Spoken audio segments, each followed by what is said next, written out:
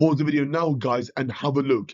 Can you get 8 out of 8 on question 1 to 8 for simplifying algebraic expressions? So collecting like terms in algebra, okay? So this is appropriate for key stage 3 maths, so year 7, year 8, year 9, year 10, and year 11, okay? It's also appropriate for GCSE 9 to 1 maths foundation tier, okay? And also functional skills maths level 1, level 2, entry 3 my students, okay, that are adult learners, okay, doing functional skills maths, okay.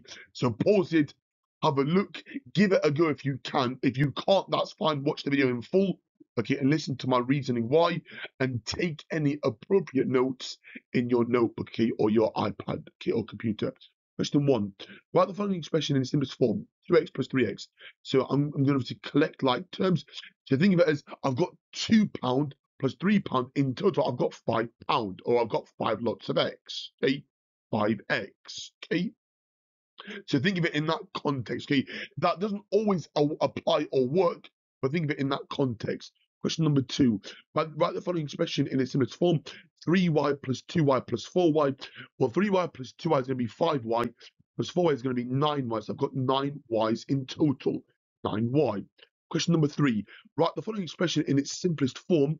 2a plus 4a minus 3a. Well, 2a plus 4a is 6a. 6a subtract 3a, and I get 3a. Okay, again, if you're unsure, think of it as, a, as I've got two apples, and then I'm going to add another four apples to a bag, but then I'm going to subtract three or take away three okay, on my last step. So I have three left over, okay, so three apples in total. Okay, Question number four, okay, collect items here. Obviously, write it in its simplest form.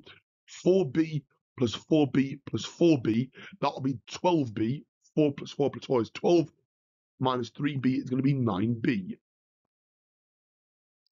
Question number five, write the following expression in its simplest form.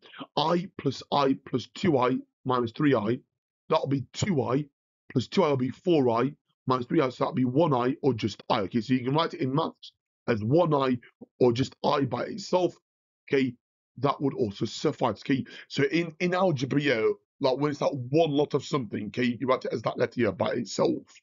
Okay, question number six. Right, for the following expression in simplest form, 4c plus 3c is going to be 7c. 7c take away um, 7c is going to be 0, okay? 7c take away 7c goes to 0, okay? Think of it as I've got 7 pounds and I've spent 7 pounds I now have nothing left. Okay, nothing being zero in this context. Question number seven. Okay, simplify in this case, so collect our like terms. So A plus A is 2A. That'll be 4A. That'll be 1A. And obviously plus 9A, so that'll be 10A. Okay, next part. Okay, question number eight. Okay, last one for today.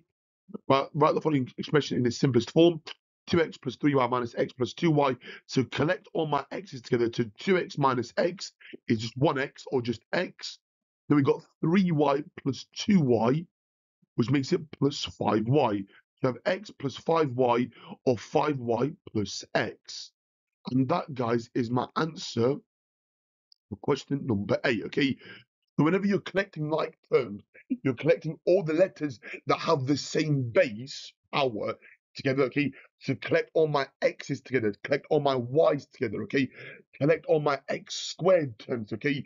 So x's and x squared terms are actually different terms. Okay? You have to have what, what we call yeah, like the same base power.